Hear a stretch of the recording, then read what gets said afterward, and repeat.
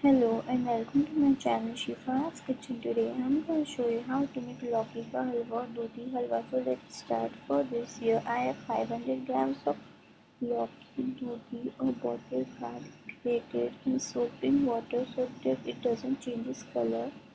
Then I have 1 cup of sugar, 300 grams of mawa or khoya, half a cup of cashews, 1 tablespoon of desi ghee or clarified butter, 1 4 cup of almonds and pistachios each, half a teaspoon of cardamom powder, elaichi powder, half a cup of milk. Then I have silver leaf or chandi ka vark. So let's start. First, in the wok, I later our grated bottle gourd.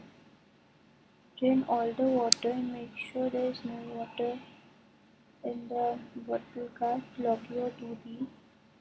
We'll cook it for about 10 minutes on high flame. As you can see, it has started releasing its water. As you can see, the water has evaporated in our bottle gourd is a bit cooked now. To this I add sugar. Add sugar as per your taste. I have added almost 1 cup of sugar. As you can see our sugar has dissolved now to this I add milk. And we'll add cardamom or elaichi powder.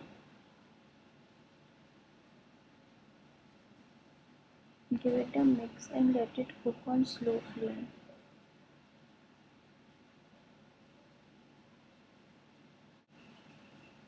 Now to this we'll add desi ghee or clarified butter.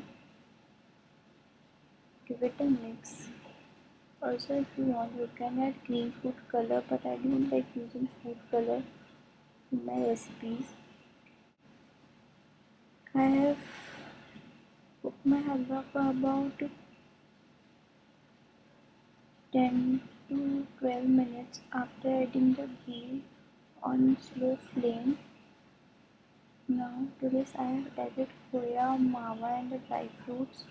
Give it a mix and let it cook for about 3 to 4 minutes.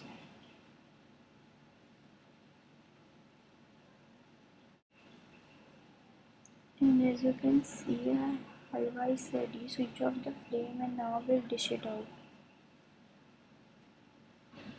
Garnish it with some silver leaf some khoya cashews almonds and pistachios finely chopped.